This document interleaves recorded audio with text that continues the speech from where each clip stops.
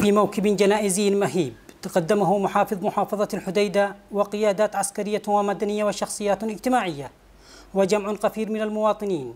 شيع في الساحل الغربي جثمان الشهيد أسامة عبد حسن زحزوح أحد أبطال قوات خفر السواحل. رصيد من النضال.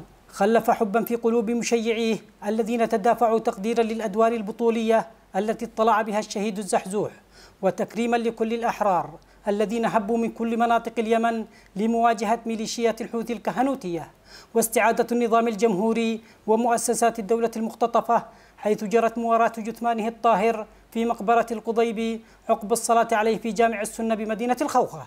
الحمد لله واشكر الله على كل حال اليوم ودعنا بطل من أبطال الساحل الغربي الفقيد أسامة زحزوح الذي مشهود له بالإقدام ومشهود له أيضا بالكثير من المواقف الإنسانية.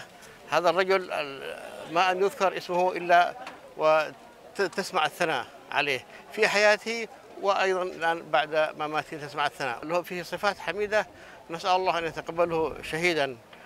عنده وأن يسكنه فسيح جناته. نحن اليوم نودع أخا عزيزا مقاتلا سنديدا مجاهدا في سبيل وطنه لقد كان أسامة زحزوح رحمة الله عليه أحد رجال أبناء تهامة الذين شاركوا في حرب شارع الخمسين في اللواء الرابع مقاومة وطنية وكان مقاتل بكل عزيمة وبكل فخر وبكل جسارة لقد رأيته بعم عيني وهو يحارب تلك الميليشيات المارقة وها نحن اليوم نودع هذا البطل السنديد. شجاعة الشهيد ومواقفه البطولية. ستظل محل تقدير واعتزاز الجماهير الذين احتشدوا لتوديع هذا البطل وسط تأكيد من مشيعيه على المضي في الدرب الذي اختطه لهم حتى تحرير آخر شبر من الوطن من الكهنوت الرجعي. من محافظة الحديدة شرف الشمري اليمن اليوم.